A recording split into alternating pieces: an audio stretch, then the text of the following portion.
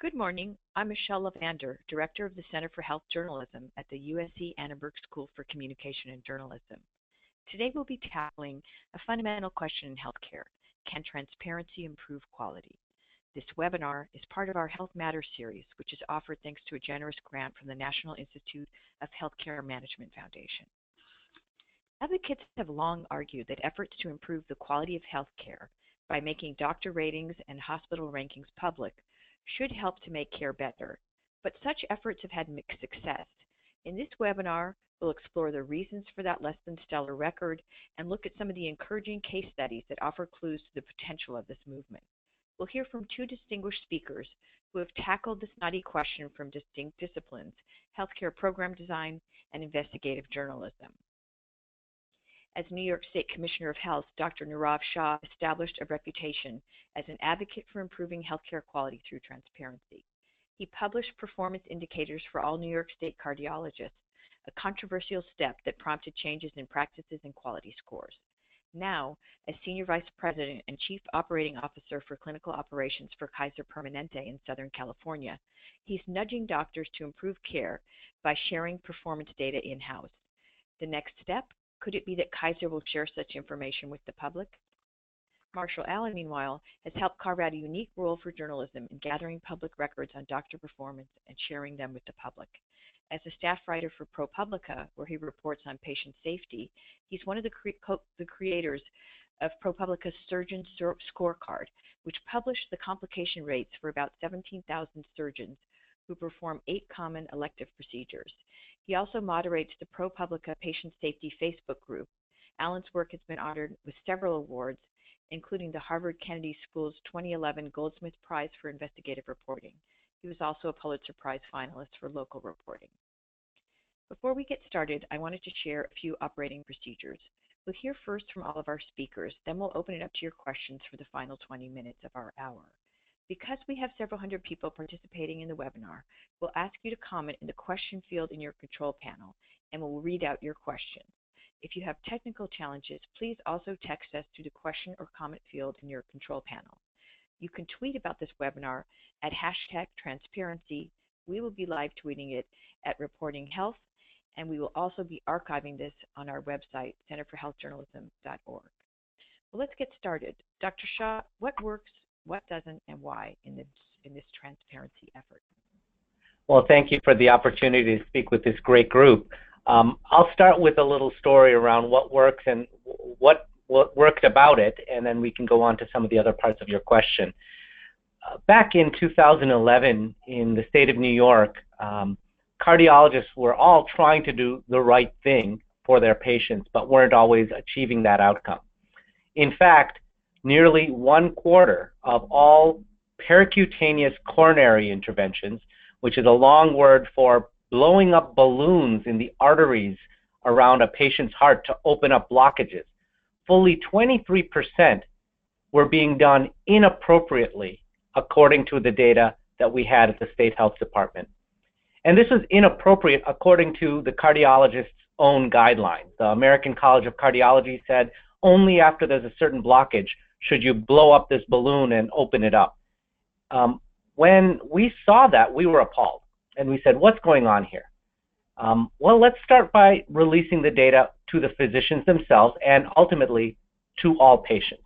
And when you release data that shows that something bad is happening, uh, obviously this is a life-saving procedure for patients who need it, but if you don't need it according to guidelines, you could have bleeding, infection, and even have death as a result of inappropriate uh, percutaneous coronary interventions.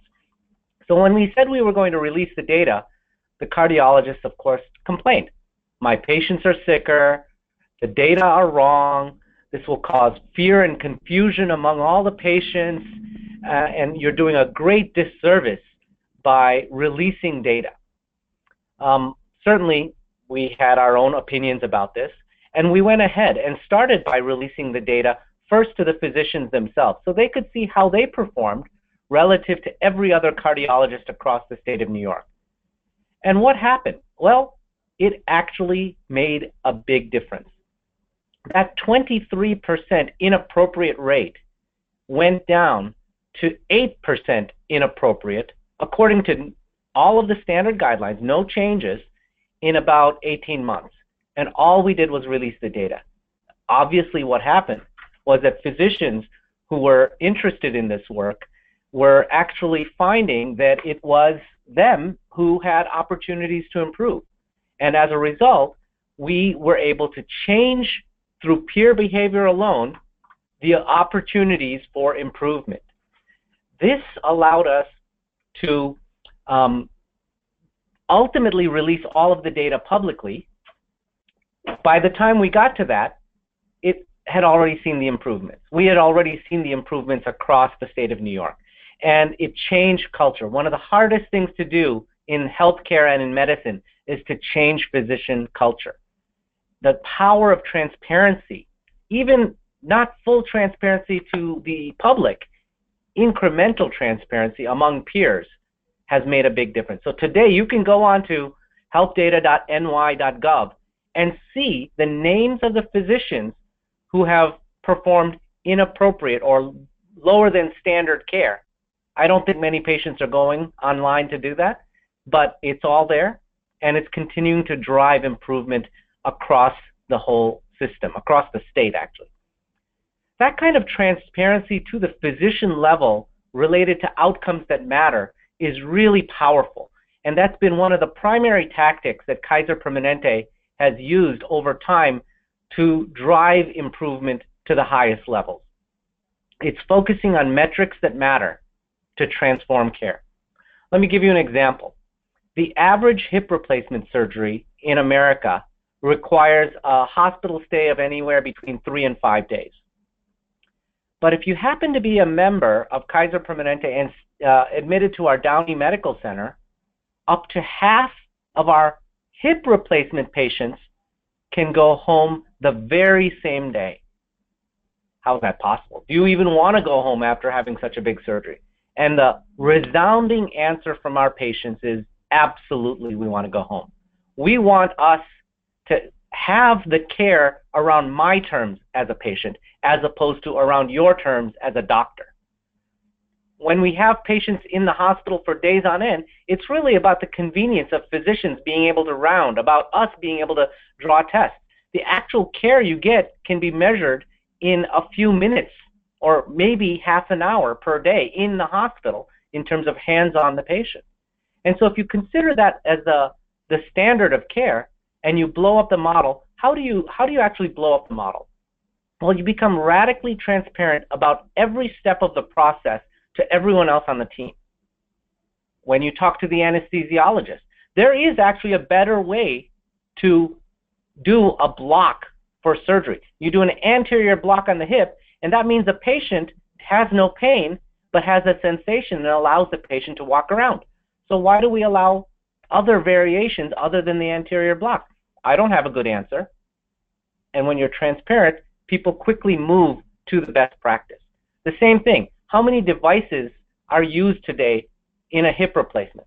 Well, every surgeon has their favorite one. You could have a dozen different devices which require a dozen different trays, a dozen different ways to learn around a workflow in the OR for a given device with marginal, if any, benefits from one device to the next. And the data will show that probably you only need two or three devices.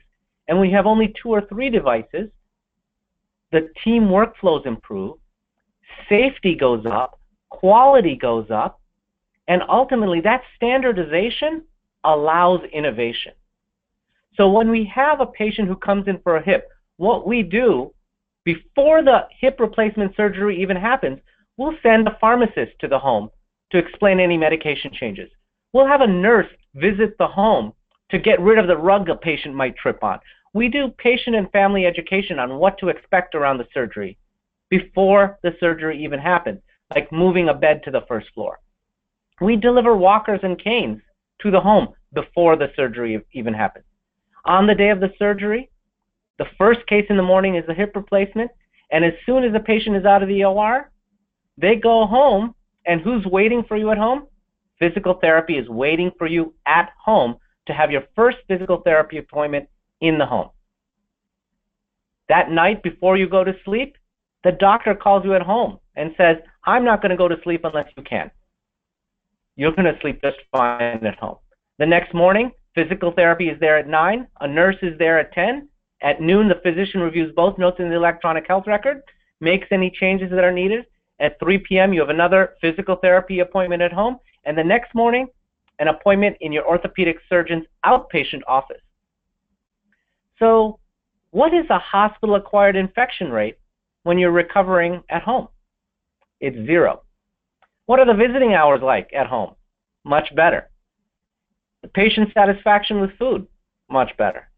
And so what this allows us to do is to create, because we have standardized processes for everything, from every single workflow around a patient's needs, we have multiple safety nets, lots of people making sure nothing is going wrong.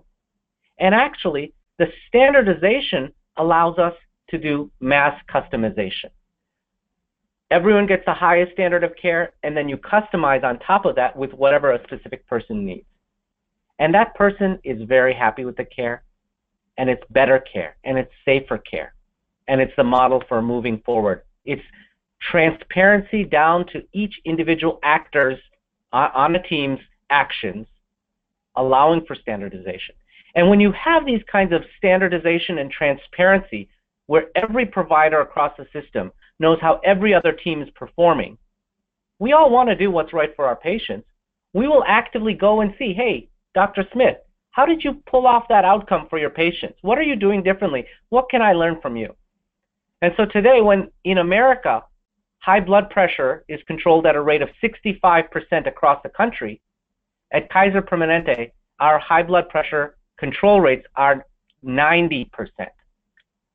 When you have a five-year survival for colorectal cancer in the country of 65%, at Kaiser Permanente, our numbers are 75% five-year survival, and we're going to half the death rate in the next three years.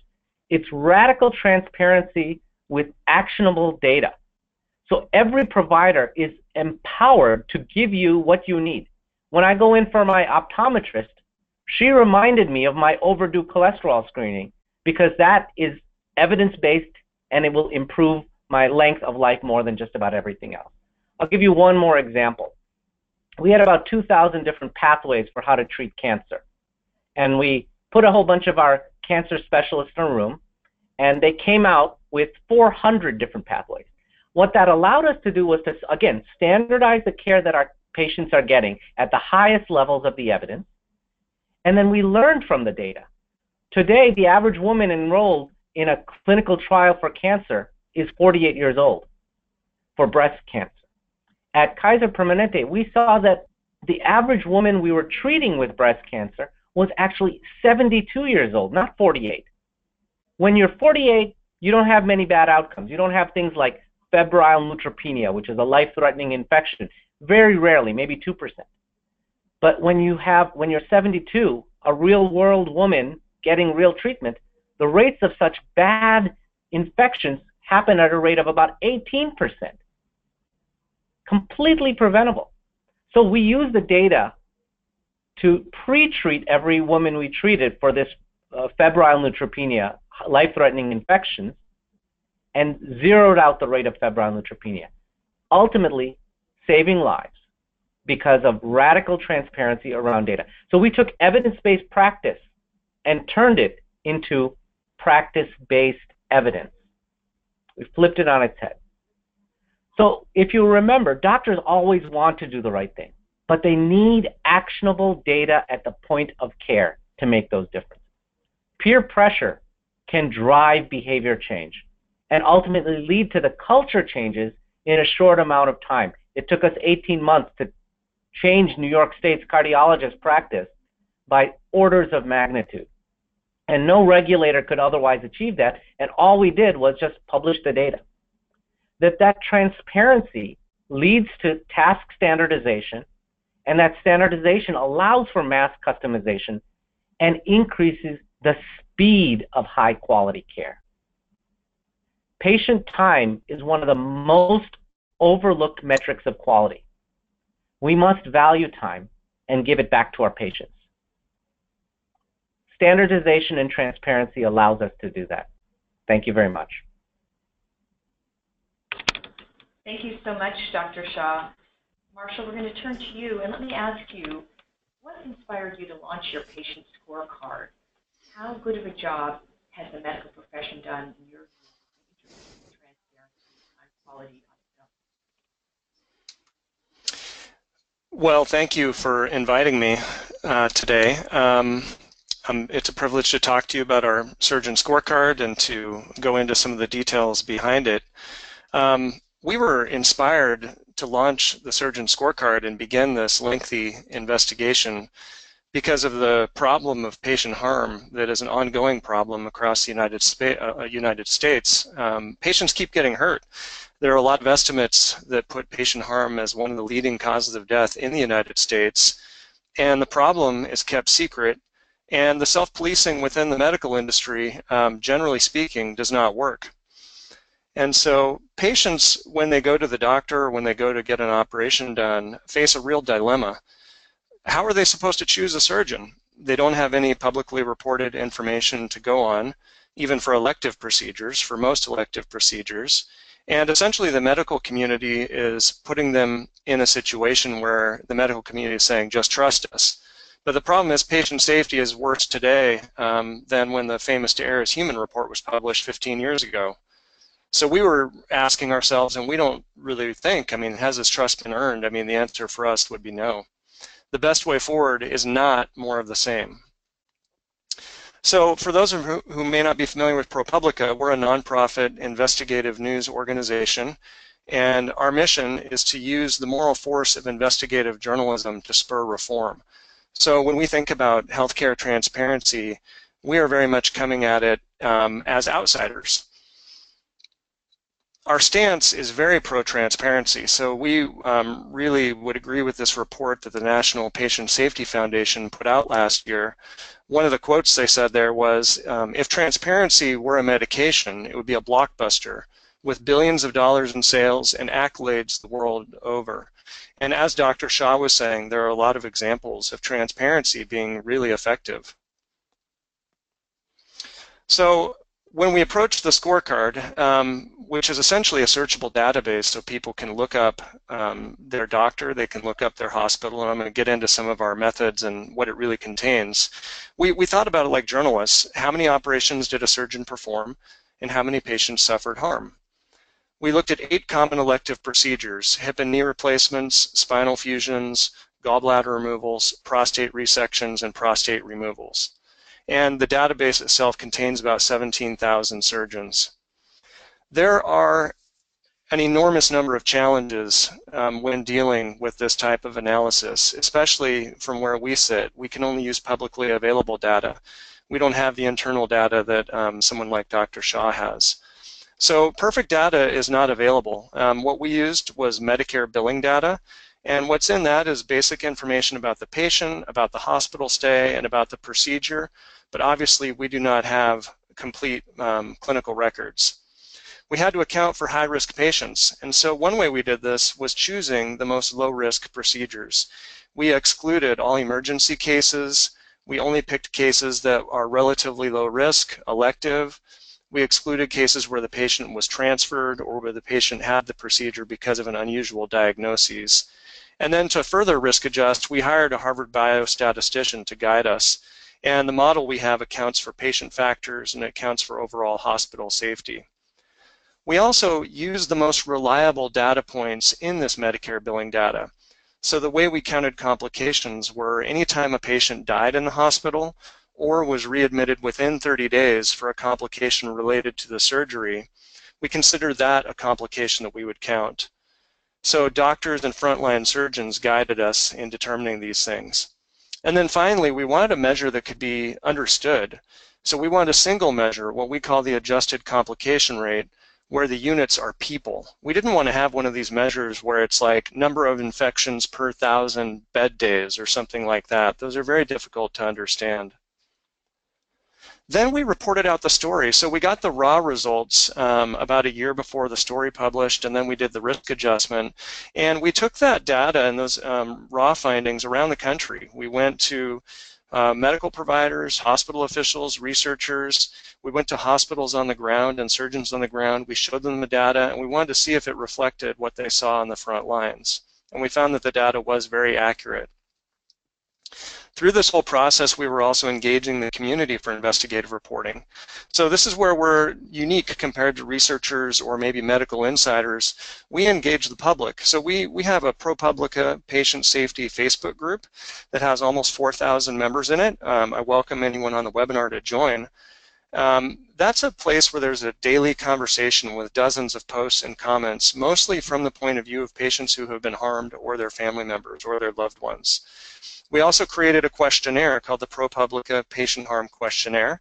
That's been completed almost 1,400 times, and that's a very detailed questionnaire to get the experience of patients who have been harmed. And then we also reached out to medical providers, doctors, nurses. We had them fill out a short questionnaire, basically opting in to be our sources and to help us with our investigation. That's been completed hundreds of times. So the sources um, uh, were coming from a lot of different stakeholder groups. For the methods, we had more than a dozen health services researchers guiding us.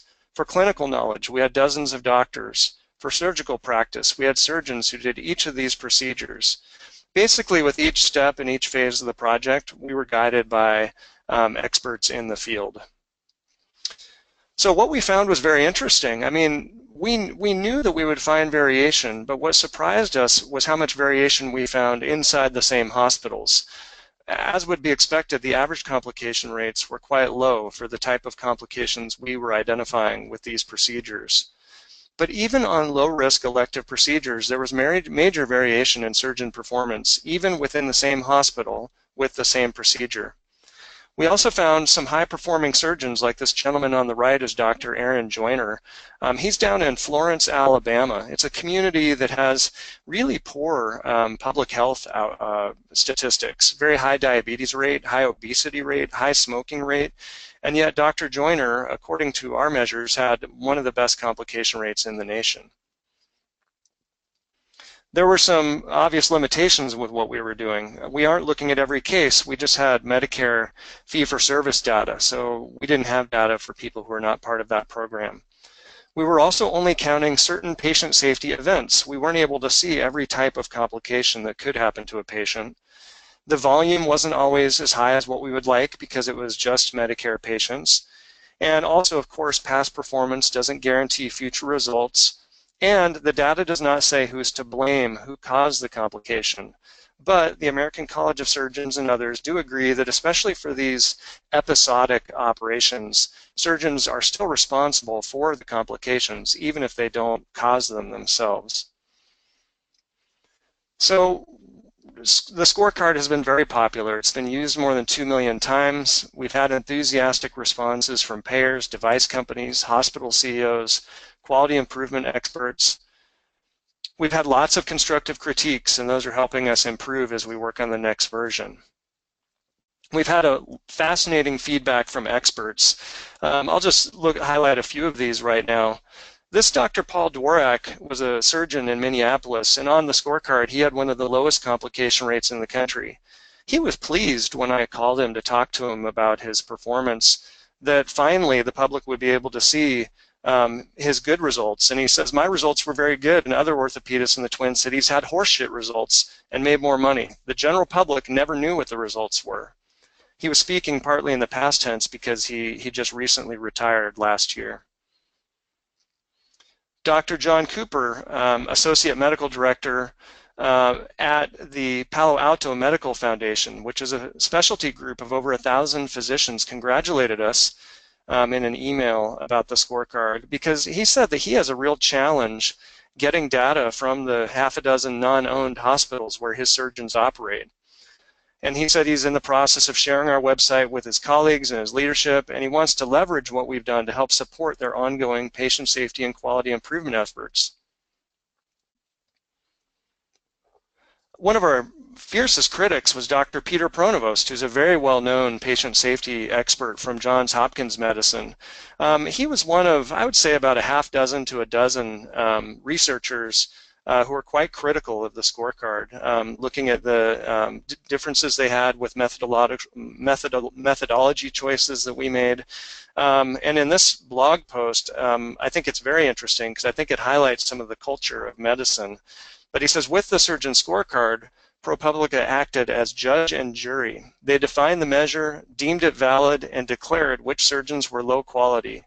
What assurances does the public have that such vigilante methods or measures are scientifically sound? And I think um, it's reflecting a certain amount of um, uh, discomfort with us coming in as outsiders and um, you know doing this type of report.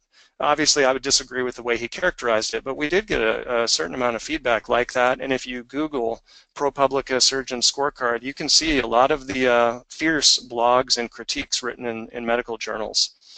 Um, I like the way Dr. Ashish Jha uh, summed it up. Um, Dr. Jha was one of the experts who guided us each step of the way. There were there were three experts like him who really we ran every decision by, made multiple visits to him, but he was an unpaid informal advisor. He described the scorecard as disruptive innovation, which he said is usually a new product that to experts looks inadequate, and that's because it is. These innovations are not initially as good as what the experts use. They initially dismiss the disruptors being part, being of poor quality, but disruptive innovation takes hold because for a large chunk of consumers, the innovation is both affordable and better than the alternative. And once it takes hold, it starts to get better. And as it does, its unintended consequences will become dwarfed by its intended consequences, making the system better. That's what ProPublica has produced, and that's we're celebrating. And this is where it's harder for me to quantify the effect of transparency. You know, Dr. Shah and other um, medical providers have the inside look at how transparency is effective. I get things on the surface. I get emails, I hear from people about things that they're doing, and it definitely lights a fire under people and spurs them to improvement, but it's hard for me to tell exactly how to measure the impact of it. It works on so many levels. But so why be transparent? I mean, first of all, patients need to know and they have a right to know. We would always tell people that the scorecard is not the um, all all-knowing, omniscient, authoritative source to go for quality information about your doctor. But it's a good starting point um, to learn and to ask questions of your provider uh, for patients. And then also, it's a good starting point for medical providers to see how they compare and to um, look into cases where a doctor may have an especially high complication rate and may need to have some coaching, or perhaps a doctor has an especially low complication rate, and people could see what that physician is doing um, to have such good outcomes. Um, and as I said before, the transparency really spurs providers to improve. Um, the the response we got from the scorecard, whether it be positive or negative, shows that when you're transparent, uh, people take notice. So Scorecard 2.0 is coming soon. Um, we're going to be iterating the process. I mean, we're going to be adding to it in some different ways. We're going to add a measure, we think, to um, capture some inpatient harm, which we haven't done right now. We're going to put less emphasis on the categories, you know, determining who has a high, medium, or low complication rate. We're also going to put some clarifying language around what we measure, have some more precise risk adjustment, and then we're also going to try and find a way to recognize surgeons who treat more underserved patients. Uh, just some final thoughts. This is a starting point for us, not the end. It's also a starting point for transparency, not the end. Um, transparency is going to radically improve as electronic medical records um, become more um, available, and also just as more organizations and, and um, whether it's people like us outside of the medical industry or people like uh, Dr. Shah and Kaiser uh, within the medical community there's a real demand for this among patients, and there's a real desire to get more information like this to the public. A more informed public is going to be helpful for everyone. Uh, we're also grateful for the interest in our work. I mean, even the critiques, I mean, we've had to address a lot of them. It's taken time to deal with some of them, um, but it's been really helpful for us to hear what people think. And then we have an ongoing challenge. Uh, anytime I give one of these presentations to the medical community, we would love for the medical community to put us out of business. Um, you know, we didn't get into this to do surgeon scorecard for the rest of our lives. Um, it's we're a journalism organization, and this is information that we believe that the medical community has an obligation to provide to patients and to the public, and we look forward to that happening. Thank you. Thank you so much, Marshall and Dr. Shah. Before we turn to, well, I just want to point out to everybody listening that this is the moment for you to send us questions through your control panel, and we can ask some of our two speakers.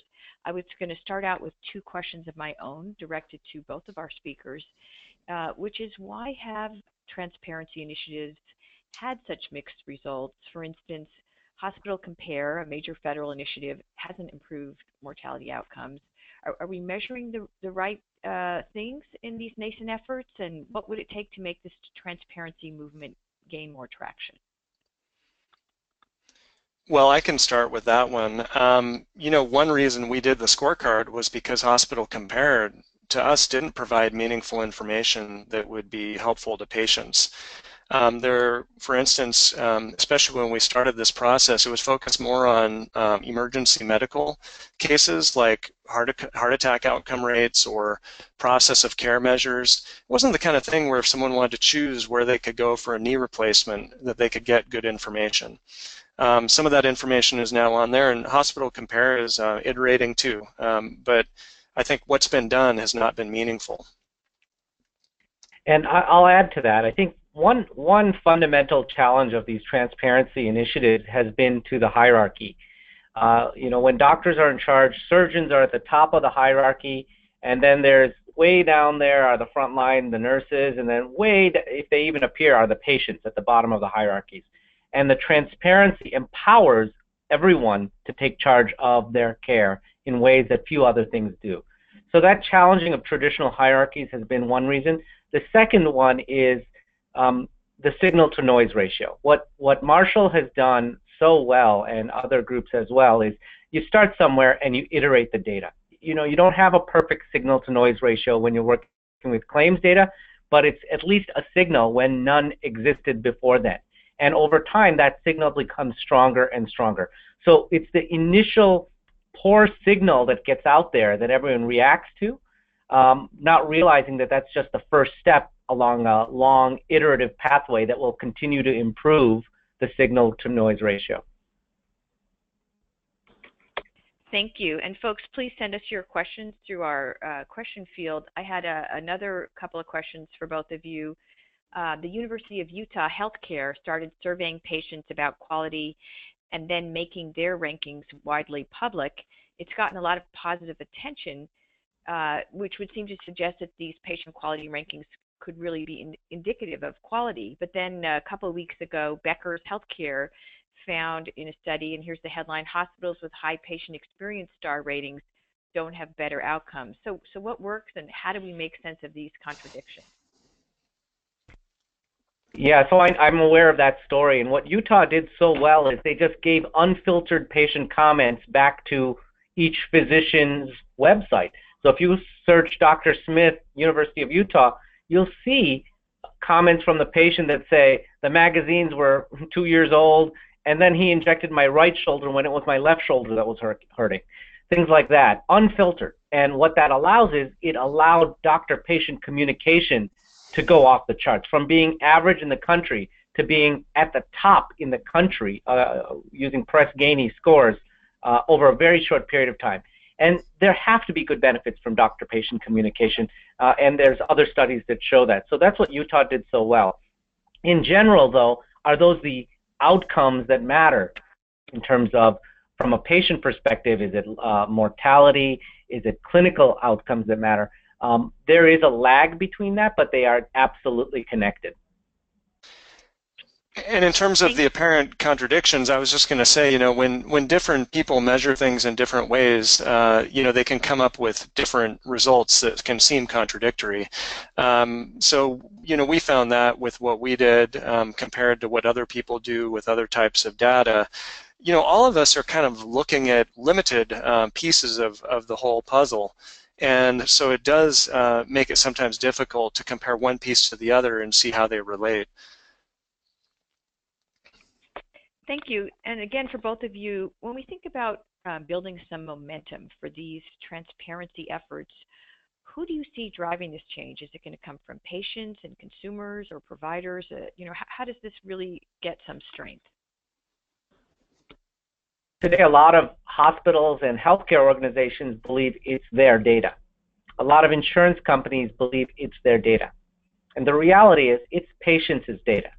And when we start to make that widely known and allow patients to move their data as they want and not succumb to the standards that the healthcare industry or insurance companies have held to for decades, uh, it'll really change uh, everything in, in a very short amount of time. If you look at efforts like the All Payer Claims database in New York or what will come out in California, those are what Marshall's doing um, at scale across 19 million people in New York. Uh, that will be the game changers that we will ultimately prove the case that transparency is the standard and everything else is subpar. So the problem with patients driving the change is that the patients have um, so little power and so little unification and so little knowledge about these complexities that I just don't know if the patients are realistically ever going to be able to do it. Um, the payers, on the other hand, especially the payers who have the incentive um, to uh, to care about quality, I think they're the ones who could really drive this forward. And and by them, I think I mean like Medicare, um, you know, the state uh, Medicare, pro, uh, Medicaid programs. Um, you know, they have the incentive and sort of the independence to be able to drive things forward. Um, I wish that the commercial um, uh, insurance industry also had those incentives. But I think, um, you know, as I've talked to insurance executives, I've, I've been surprised to see how they're more interested sometimes, I think, with keeping the providers on their panel happy uh, so that they can continue to offer those providers um, to their patients. So maybe maybe Medicare and the, uh, the states uh, might be ones we can rely on. And uh, one last question before I turn to the questions from our uh, listeners here, and this one's for you, Marshall. You know, you spent uh, several years on your surgeon's scorecard uh, with colleagues. It's just a massive undertaking. So, for uh, a beat reporter who covers health healthcare, are there some ways into this um, really complex arena um, where they can carve out some stories where, where you would urge them to look next? Definitely. Um, I, I, should have mentioned earlier, my colleague Olga Pierce um, was kind of my partner hand in hand doing this whole project. Olga was really the data specialist who handled the technical side of the project, and then I did um, the, uh, the, kind of in the field reporting. Um, and we both developed the methodology together, um, but I just want to make sure our roles were clear. For a local reporter, I mean, this is the kind of project that um, it was it was uh, it was diff very difficult for us to accomplish.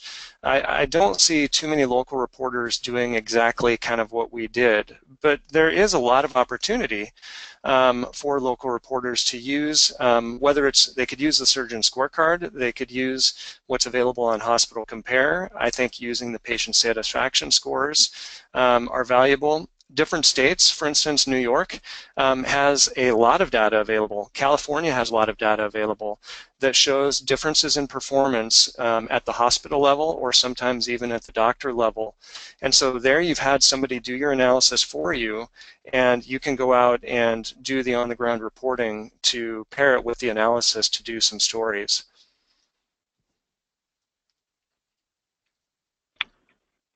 Great, thanks. So we have a question here from Jillian West. One of the biggest problems around public reporting is actually convincing patients to rethink their approach to finding care. Build it, and they will come definitely isn't enough here. How do we shift patients into a consumer mindset? That's a tough one. You know, we've tried. I thought uh, we built it, and you could go on to the New York website and and look at a length of stay for a knee replacement and look at the cl- how clean the hospital bathrooms are and how fast the return to work rates are. And there's clear answers if you look at the data from one hospital to the next even in a given community. But will patients even when it's spoon fed to them uh, use that? No. Most times they'll just ask their doctor because they trust their doctor where should i go and, that's a big hill to overcome. I, I I don't know how we get there.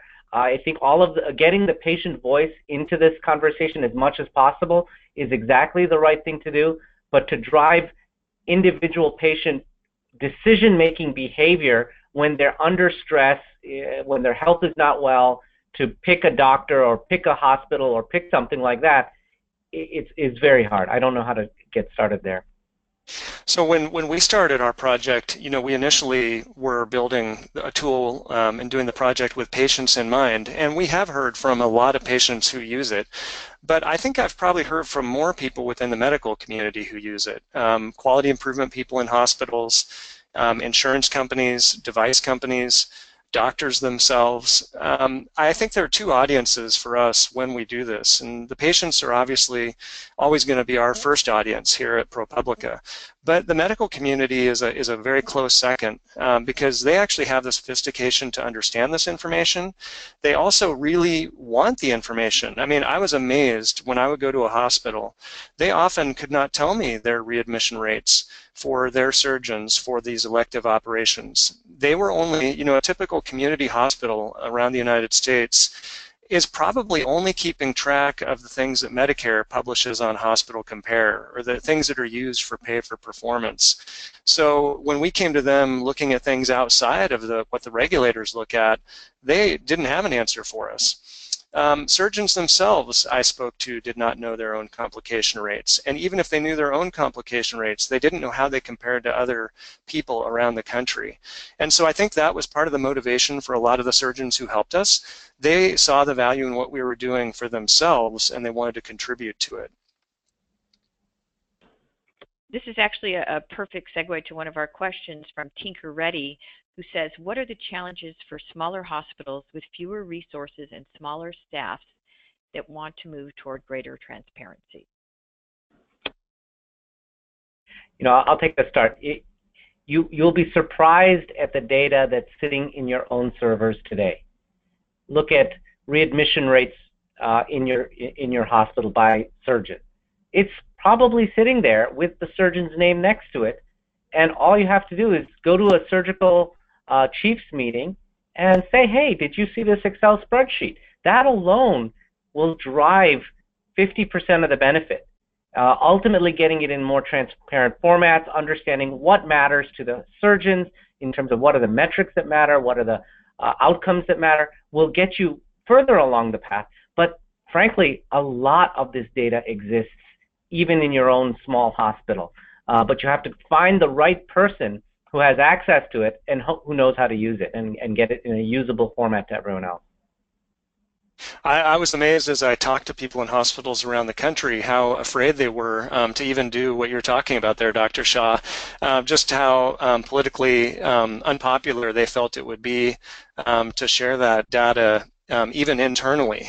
So the public reporting is sort of like it's such a radical idea to a lot of people, but that internal sharing causes people um, a lot of stress. However, all of them that did tell me that they had done it said it, it immediately had benefits.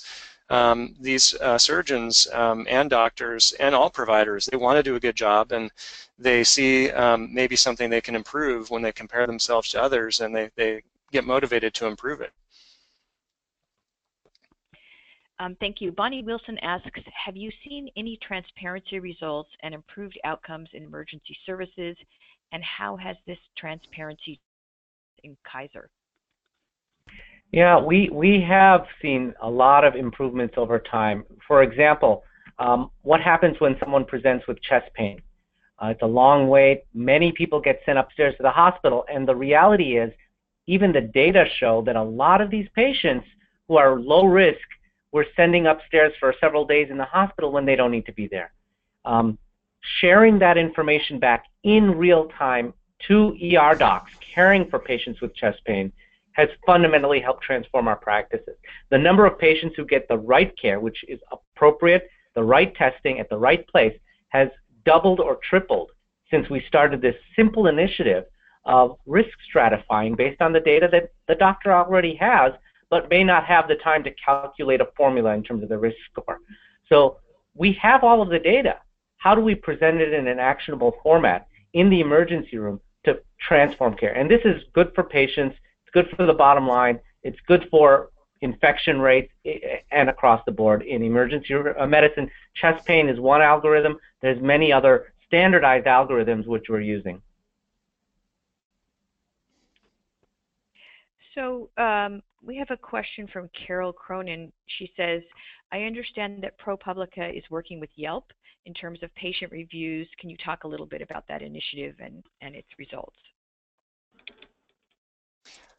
Yes, that's been something my colleague Charlie Ornstein has been doing more than myself, so I can talk tangentially about it. Um, but ProPublica has some of our um, data analysis that has is now on the Yelp website.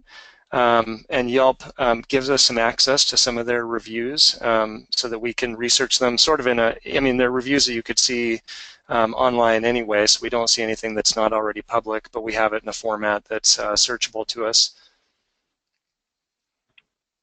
Thanks. And uh, Michael Hochman asks, any particular concerns or issues to consider when thinking about transparency in the safety net?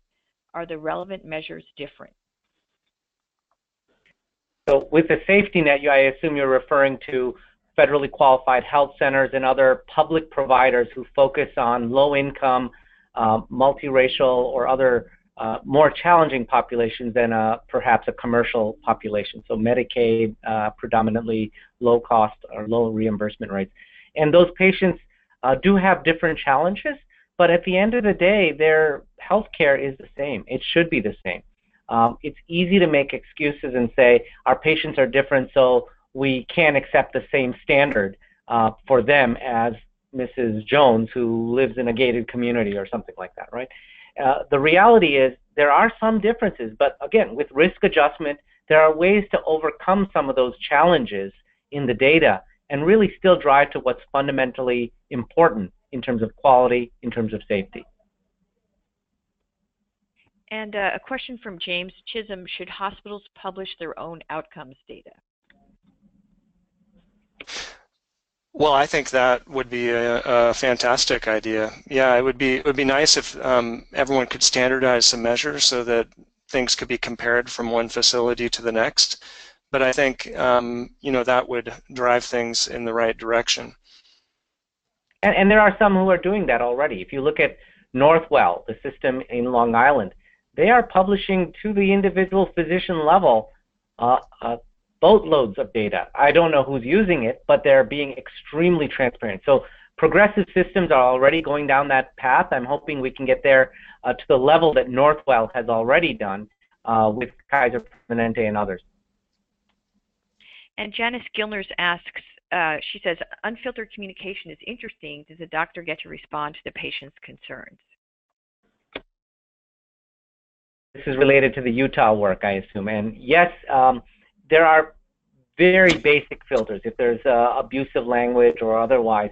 But frankly, the vast majority of the comments have been uh, laudatory, and it it really gets to what what happens is the doctor reads their own reviews on that public website, and they quickly change their team's behavior in real time. And so you'll see rapid improvements. Um, the, the filtering does occur, but it's minor. And I, I, would refer to Dr. Vivian Lee from University of Utah and the work they've done. Press Ganey has done a lot of work in this space and uh, continue to do that with many more medical centers now.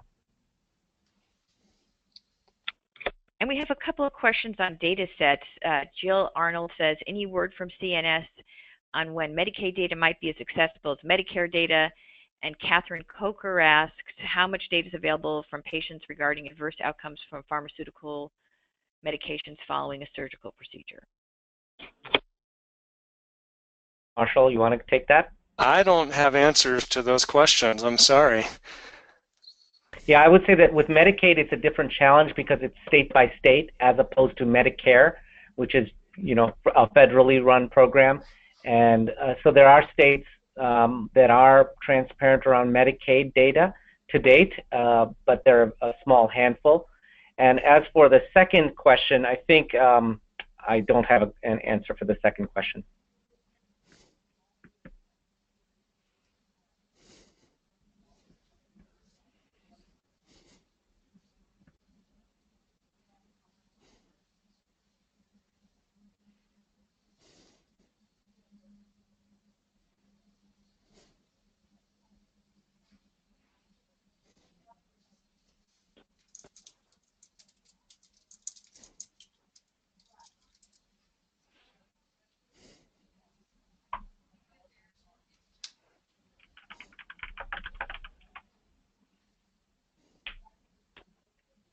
Did you did you all did you all hear that question, or was I accidentally muted?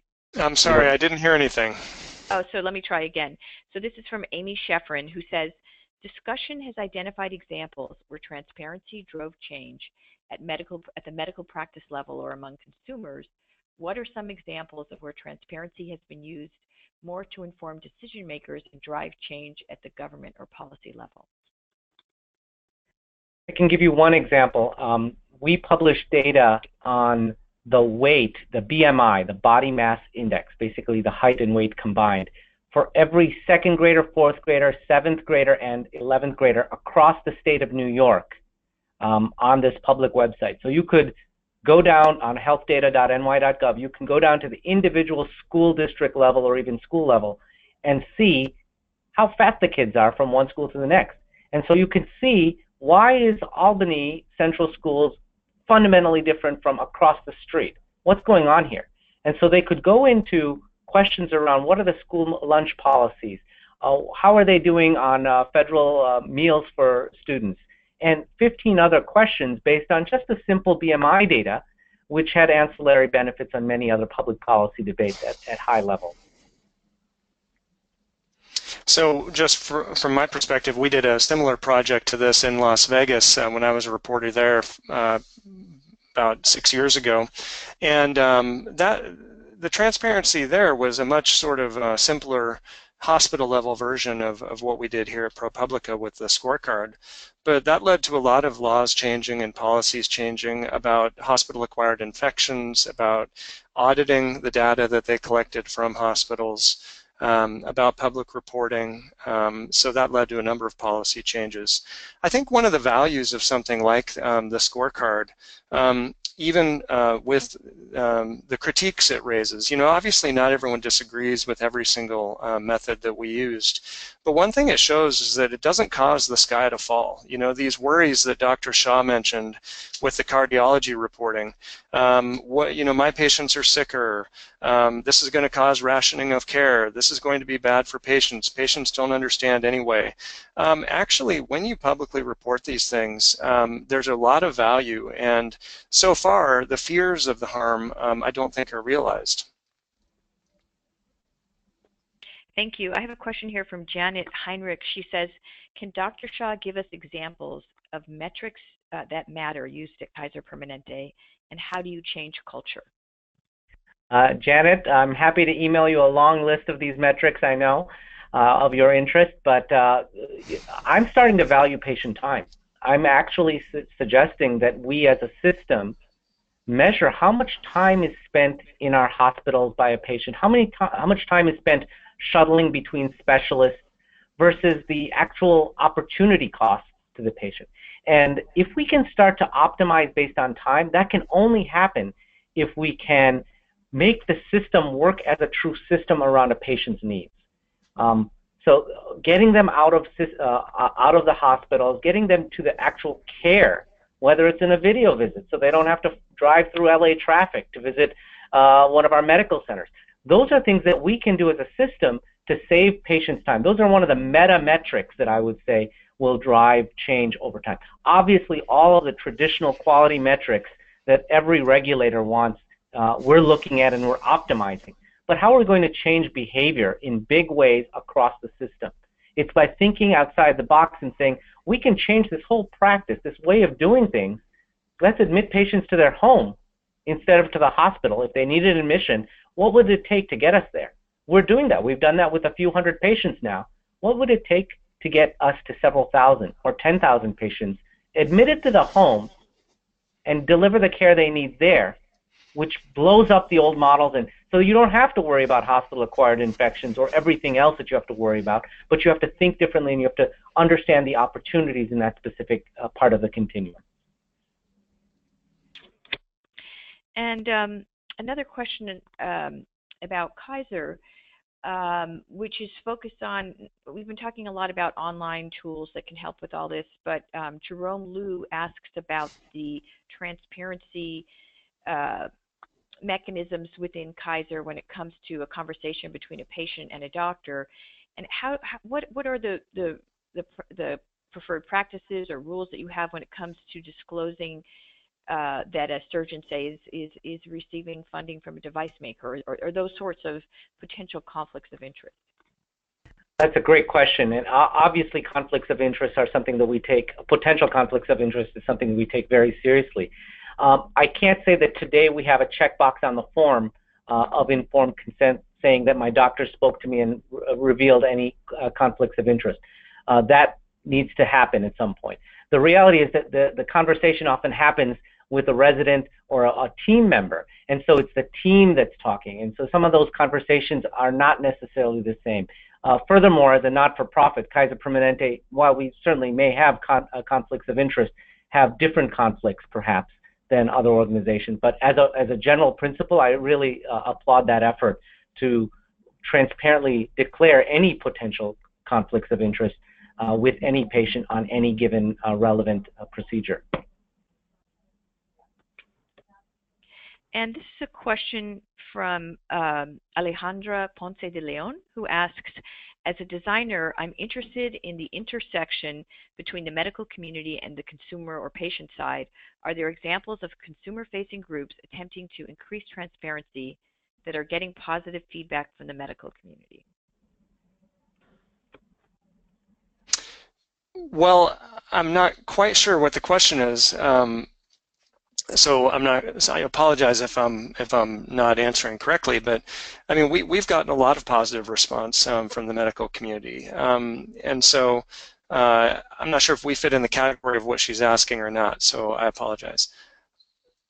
There are groups like Clear Healthcare Costs, which has a Facebook page, and others that I'm aware of that are uh, more patient-focused um, attempts to crowdsource data around costs for a colonoscopy or what did my copay uh, end up being for that uh, breast cancer screening that um, may get to some of the what you're looking for.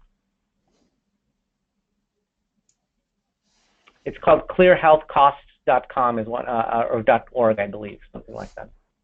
We have a question from Kristen Gourlay saying, are there plans to combine the surgeon scorecard data with price and cost data? Not at this time. And um, here's a question from Peter McManaman. Uh, there's a supply response one can expect from doctors and other clinicians. They are very competitive and do not want to be at the bottom half of any list. That is part of the reason why the New York Cardiology Information Release worked to reduce inappropriate surgeries only a small percentage of potential patients need to read the reviews to get the message to clinicians. They may lose potential patients when their scores are at the wrong end of the spectrum. So I guess he's more asking for a comment than a, having a question. Yeah, I can't disaggregate how much was patients talk calling doctors versus doctors feeling peer pressure and changing their behavior, but the results are, you know, 23% inappropriate down to 8% inappropriate in 18 months, and it's continued to improve in the last year and a half since I last looked at the data. Um, but the power of transparency, radical transparency at the individual provider level, will drive behavior. Some providers dropped out. You know, those who were at the very bottom end of the scale saying, "It's time for me to retire." That that was part of the solution for some. On the other hand, the vast majority just improved by asking and reaching out to uh, the positive deviants in the crowd, the ones who are doing really well, and saying, how are you approaching this? What are you doing differently compared to what I'm doing? Thank you. A question here from Stephanie Innes uh, for, for both of you. She asks, uh, would transparency about so-called sentinel events be helpful for the public? And if so, who do you think is most successfully sharing this information with the public right now? I do think that's very helpful um, for the public for the reasons we mentioned. Um, I also think it's helpful for the medical community for the reasons we mentioned. Uh, when those things are publicly reported, um, they increase their focus on preventing sentinel events. One challenge is that, you know, like the OIG has done studies that have shown that very few sentinel events within hospitals are actually identified and counted through different reporting systems that require the reporting of sentinel events. Um, so I would look at that OIG study because it, it showed that very few um, cases where patients suffer harm are actually being tracked by the Sentinel event reporting systems. And I would take a slightly different take. I think that while Sentinel, Sentinel events are important, what we've talked about with data transparency has ultimately been about volume. When you have such rare events, um, there are a lot of factors that can lead up to a given Sentinel event, and it's very hard to deconstruct what it was. And more importantly, the chilling effect it'll have internally on providers trying to prevent that from ever happening again. If people start realizing this is going to go public, you go from a culture of let's talk about this openly and transparently to fix it so it never happens again to one where we're going to it's going to be on the New York Times next uh, in, in the next day or two. I don't know if we want to talk about this openly. And that's the reality on the ground. And so I would argue that with Sentinel events, unless it's a um, a very clear definition, it doesn't actually add to the learning culture in healthcare, the continuous quality improvement culture, relative to many of these other data where it does improve quality. Uh, this is one where you want radical transparency within an organization so that every part of the system can work to prevent it from happening again. Obviously, these are things that are reported ultimately up, up the chain of command, but uh, direct to public may not actually help the conversation. Again, patients won't know where to look, may not even know how to act on it, uh, given the rare uh, occurrence of sentinel events. Marshall, did you want to answer that or? Well, sure. I would just to respond to Dr. Shah. I mean, if a, if an organization did have a, a pattern or a number of Sentinel events, um, I think that's valuable information for the public um, to know about. And you know, you do hear a lot um, where providers say, well, if these things are publicly reported, people will kind of go into hiding with them. You know, they'll they'll stop discussing them, and they will um, you know stop reporting them, and that will make things less safe. Um, I actually think that that's just assuming the worst of, of people. I mean, clearly people will be tempted to hide their mistakes um, when things go wrong, um, but it doesn't have to be a punitive process. And I, I feel like there's such a stigma um, around this subject that it gives people an excuse not to talk about it openly and not to be transparent with it. And when people are open and when people are transparent, um, I don't think that there has been the harm um, that everyone seems to fear. So you, I, you, do hear that argument of Dr. Shah's a lot. Um, I just I don't I don't think that's the only side to the story. Yeah, and I agree. I think that you, you start with transparency, you'll almost never go wrong. I think this probably warrants just a little more study. So um, we're going to close with more of a statement than a question, but I don't know if, if you, Marshall, or you, Dr. Shah, wanted to reply to it. This is from Jolene Chambers, who describes herself as a patient representative uh, for the FDA for medical devices. Uh, she says, the medical device industry has blocked efforts to increase patient consumer stakeholder rights, including unique device identifiers and revision and explainer codes in CMS billing and include device warranties. I'm observing federal and state jury trials for thousands of pelvic surgical mesh and metal on metal hip failures. Justice is a haphazard and does not stop the for profit behavior and does not compensate and care for harmed patients. Uh, she then calls on uh, on, I guess you, Marshall, to highlight the good performers and direct consumers away from the harm. I, I don't know if either of you have any thoughts on this segment of the medical industry. That, that's sort of outside of my area of uh, reporting, so I I appreciate the comment. That's interesting and something I could look into, but I'm not I'm not familiar with it myself. Yeah, and I would go one step further. We don't have a unique patient identifier in the country today that simple act where one number is associated with the same person, regardless of where they get their care, would be um, transformative in terms of not only transparency, but in terms of quality and safety as well. Well, um, with that, I think we're going to close. Um, I want to thank our distinguished panelists, and I want to thank our audience for their good questions, and just remind you that this will be archived on our site, centerforhealthjournalism.org. And um, if you have a moment, fill in the evaluation that we'll send you. It'll take five minutes so that we can help design uh, webinars that are most useful to you. Thank you again. Thank you.